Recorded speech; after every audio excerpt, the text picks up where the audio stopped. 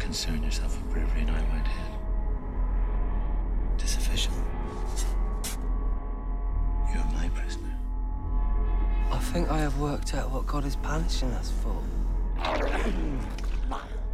Everything.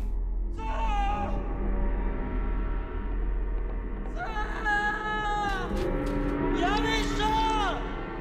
We have the treasure!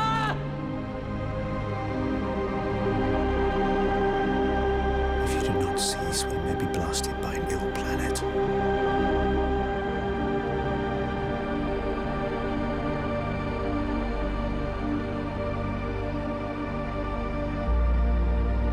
You cannot escape the fate, Whitehead! Then I shall become it!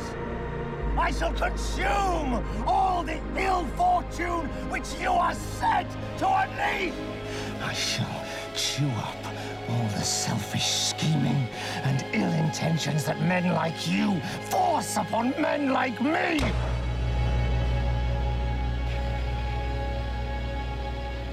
What do you see, friend? Nothing. Perhaps. Only shadows.